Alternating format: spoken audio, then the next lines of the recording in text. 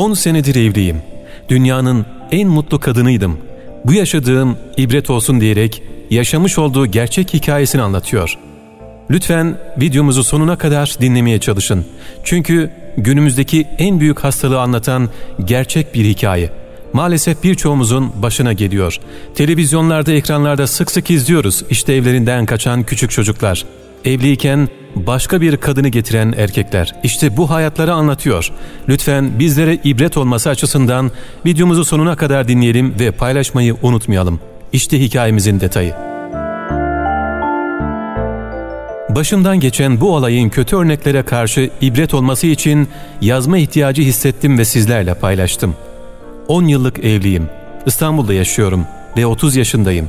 Eşim 32 yaşında ve iki çocuk sahibiyiz. Geçtiğimiz yıla kadar dünyanın en mutlu kadınları arasında sayardım kendimi hep. Ta ki o mesaj benim Facebook hesabıma gelene kadar. O gün dünya başıma yıkıldı sandım. Ne yapacağımı bilemez bir şekilde yaklaşık 8 ayım geçti. Eşim zaman zaman değişen halimden dolayı ne olduğunu sorsa da hep bir şeyleri bahane edip geçiştiriyordum. Ama ona olan içimdeki öfke anlatılacak gibi değildi. Eşimi çok seviyordum. Ondan başka sığınağım yoktu. Hata yapsa da kaybetmek istemiyordum. Eşim çok önemli bir konumda, yakışıklı, işinde başarılı ve çok tanınan saygın biri. Beş vakit namazını kılan bir yaşama sahip. Bunu nasıl yapar? Ben ona sadakatten başka bir şey yapmadım ki derdim hep kendi kendime. Nerede hata yaptığımı düşünürdüm. Bana gelen rumuzlu bir mesaj. Sen o adamı taşıyamıyorsun. Hayatının geri kalanını mahvetme bari. Birbirimizi seviyoruz. Sana diyemiyor eşin. Ama artık ben dayanamıyorum. Her akşam senin yanına gitmesine katlanamıyorum. O da beni seviyor. Ama sadece konumundan dolayı kimseye bir şey diyemiyor. Duyulmasından korkuyor gibi uzayıp giden mesaj. Eşime böyle bir mesaj aldığımı diyemedim. Onu kaybetmekten çok korktum.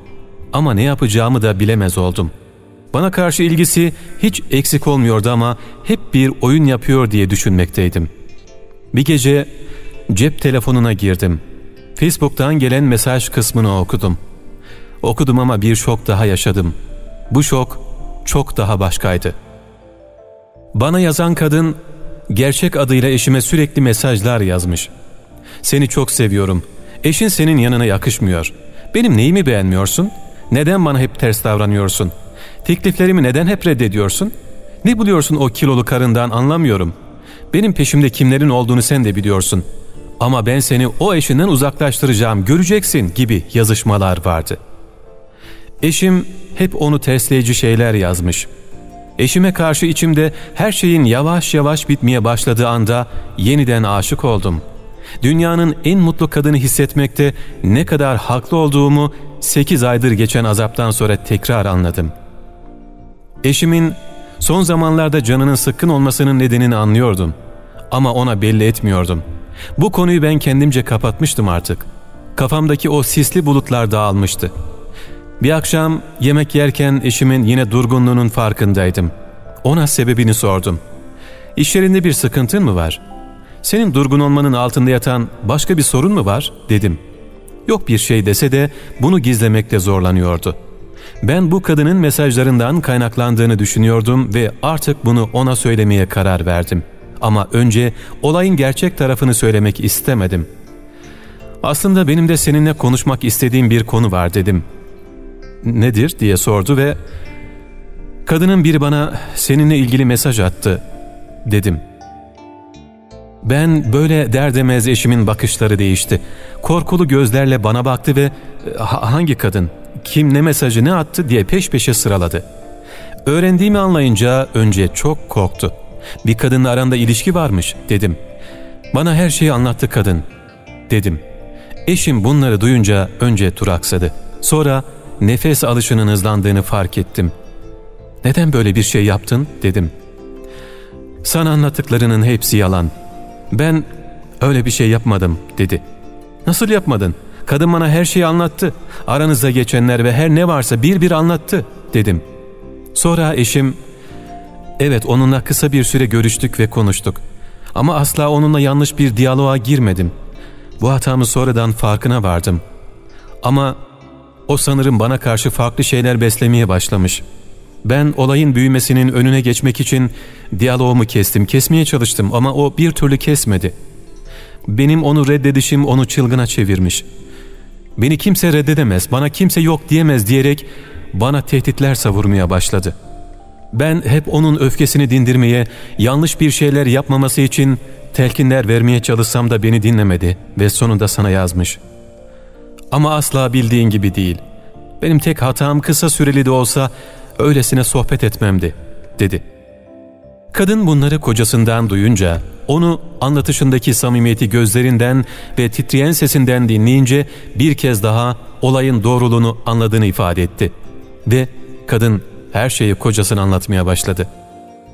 Aylar önce bu mesajın kadın tarafından kendisine geldiğini, bunu duyunca yaşamak bile istemediğini ama çaresizlikten ne yapacağını bilemediğini, en sonunda eşinin cep telefonunu alarak mesajların doğrusunu okuyup her şeyin en doğrusunu öğrendiğini söyledi.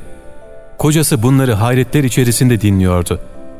Sana bunları daha önce söyleyemedim. Ne yapacağımın korkusu vardı.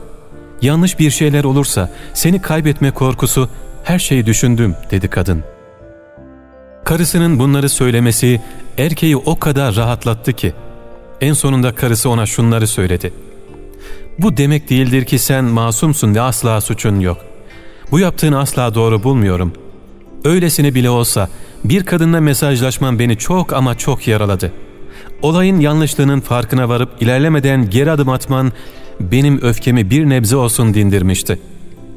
Mutlu yuvamızı lütfen tahrip edecek hatalara bir daha yeltenme, dedi. Ve adam bunları duyduktan sonra önce Allah'a sonra karısına söz vererek böyle bir hataya düşmeyeceğini söyledi. Kadını her yerden engelledi.